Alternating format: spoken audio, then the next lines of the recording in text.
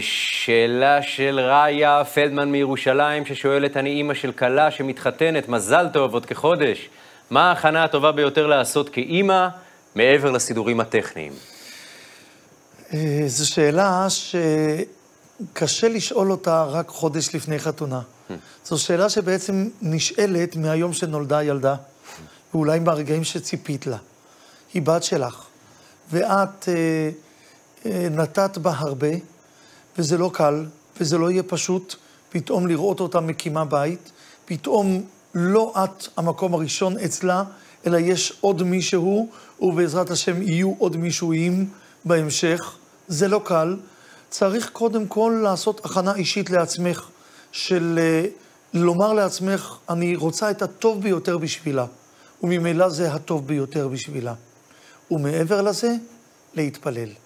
תתפללי עבורה, תתפללי שביתה יהיה בית שמח להשם, ותתפללי כל ימייך על עצמכן, עליה, עלייך, תתפללי רק לטוב, ותפילה זה דבר שתמיד להוסיף עוד ועוד. זה לא מובן מאליו שזוג שכל כך רוצה להיות ביחד, גם מצליח, כי כל כך הרבה מכשולות קטנים עלולים להיות בדרך. תפילה בבקשה לסייעתא דשמיא, ובעזרת השם תראי ממנה, ומכל צאצאייך רק נחת. הרב, יש אה, עניינים בהלכה שקשורים לקשר בין אדם ל...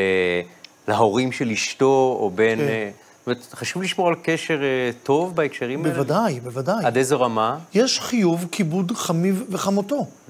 אדם חייב לכבד. אז נכון שמדין תורה הוא מחויב לכבד את הוריו, ומדרבנן גם את חמיו ואת חמותו. אבל בסופו של דבר הפערים מאוד לא גדולים. כן, צריך לעשות את זה, אבל חם וחמות חכמים ורוצים בטובת ילדיהם, יעשו זאת בצורה המושכלת והנכונה, ולא בלחץ ובכפייה. את הכבוד, צריכים לזכור, מקבלים, לא לוקחים.